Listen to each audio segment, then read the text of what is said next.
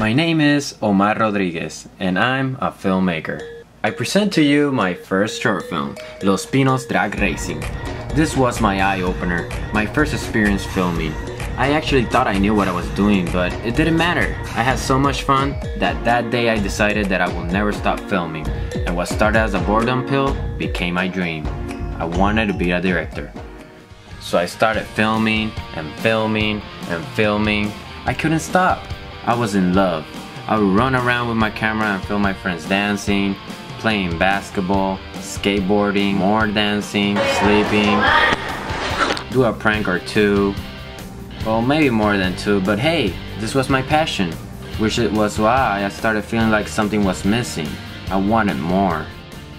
So I tried music, started playing music, filming it, and it was amazing. My best friend and me would learn songs just to have something to film. The more time passed, the more sense it made. Film and music were made for each other. But even then, I still felt like something was missing. So that's when I got more serious and upgraded my camera. I wanted this. This had to be my calling. I started writing ideas, planning videos, acting with my best friend, bought a set of lights, I was uploading videos to social networks, I was doing something I enjoyed to do for the first time in my life. The best part was getting a good feedback from my friends and people encouraging me to keep doing movies. Making people smile, that was it. Could this be more than just a hobby? This got me thinking, and there it was again. Something was missing. I needed more. So I went out there. It couldn't be only me.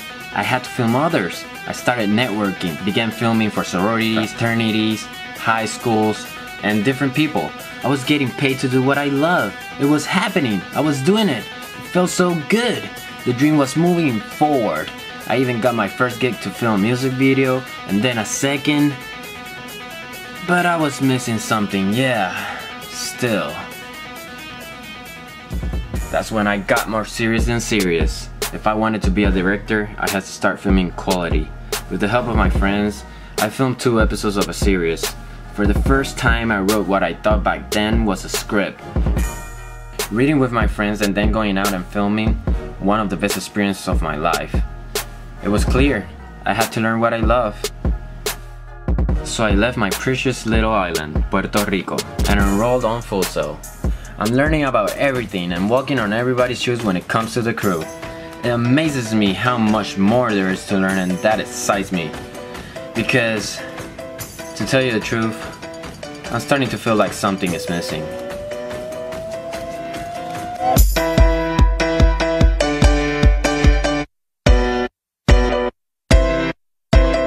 Remember my name. First team on set. Which is why I film and film and film. I don't do it for trophies. I just like the reactions. That's it. I want to be That's why first option of anyone. Here I am, looking for my dream. My name is Omar, and I want to be a director. Hey Jude, don't make it bad. Take a Camera's ready, and there you go, Omar. But I'm not ready. Oh, that's fine. Omar, speed.